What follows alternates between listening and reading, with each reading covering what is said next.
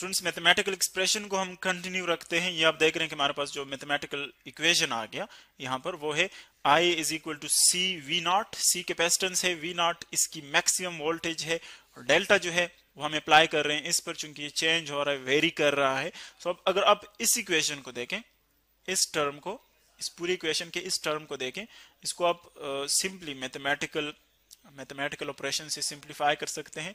और ये remember uh, भी होगा आपको कि ये एक्चुअली हमारे पास किसके इक्वल है? ये पूरा टर्म ये इक्वल है ओमेगा ओमेगा कॉज यानी कोसाइन ऑफ़ ओमेगा टी के। ये इसके इक्वली पूरा टर्म तो इसकी जगह हम ये वाला लिख सकते हैं। तो हमारे पास जो इक्वेशन है, वो किस तरह बन जाएगा? इक्वेशन इलेक्ट्रिकल करंट का, वो बन जाएगा I is equal to omega omega C V not cos of omega T. ये हमारे पास इक्वेशन बन गया omega C V not cos of omega T. अब अगर आप देखें अगर इलेक्ट्रिक uh, करंट की वैल्यू हम मैक्सिमम देखें मैक्सिमम वैल्यू कब होगी? जब आपके पास इसकी value omega V not C आ जाएगी। जब ये वैल्यू आ जाएगी तो उसको हम मैक्सिमम लेते हैं। क्यों मैक्सिमम लेते हैं? क्योंकि जब कोसाइन की जो वैल्यू है आपके पास अगर वो वन आ रही है यानी कॉज ओमेगा टी इसकी वैल्यू अगर वन आ रही है कहीं पर तो वो आपको मैक्सिमम इलेक्ट्रिक करंट की वैल्यू देगा मैक्सिमम इसीलिए अगर इसकी जगह आप वन पुट कर ले सो इस इक्वेशन को हम किस तरह पर लिख सकते हैं? अगर इसकी वैल्यू आप वन पुट कर ले सो इक्वेशन यू बन जाएगा. I is equal to omega C V not. चूँकि इस कॉज ओमेगा टी की जगह वन आ जाएगा सो ये हमारे पास आ जाएगा मैक्सिमम करंट और उसको हम आई नॉट से शो करते हैं। आई नॉट तो इसीलिए ये जो टर्म है, ये वाला, ये एक्चुअली मैक्सिमम करंट को शो कर रहा है। ये मैक्सिमम करंट है तो इसकी जगह हम आई नॉट लिख सकते हैं। ये आ जाएगा। Electric current is equal to I not इसकी जगह आई नॉट आ जाएगा।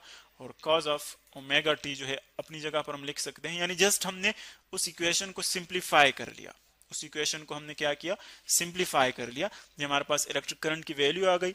और इसी तरह आप काज ओमेगा टी को आप सिंप्लीफाई कर सकते हैं। इसको आप एज एन आइडेंटिटी लिख सकते हैं। काज ओमेगा टी जो है, ये इक्वेशन जस्ट हम इंटरचेंज करते रहते हैं। बाकी इक्वेलेंट इक्वेशन है। तो इसको हम यू भी लिख सकते हैं। Sine sine of omega T plus 90 degree अगर आप sine omega T plus ninety degree इसको ओपन कर ले एक्सपेंड कर ले तो आपके पास जो रिज़ल्ट है वो यू बन जाएगा। तो इसीलिए अगर आप इसको इन टर्म्स ऑफ़ साइन लिखना चाहते हैं तो फिर इस इक्वेशन को आप यू लिख सकते हैं इन टर्म्स ऑफ़ साइन ये बन जाएगा आई नॉट आई नॉट और इसकी जगह आ जाएगा sine sine of omega T plus 90 degrees.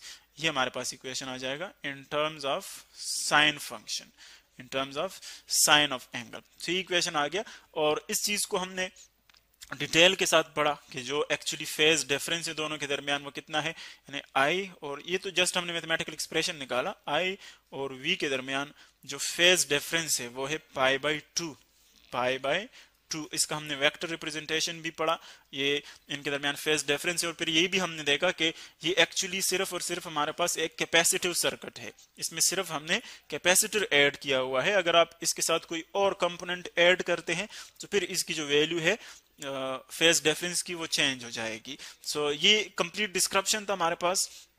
के डीसी से जब हम चार्ज करते हैं कैपेसिटर को, तब क्या होता है? और जब हम एसी के सर्किट में उसको कनेक्ट कर लेते हैं ऐड कर लेते हैं, तब क्या होता है?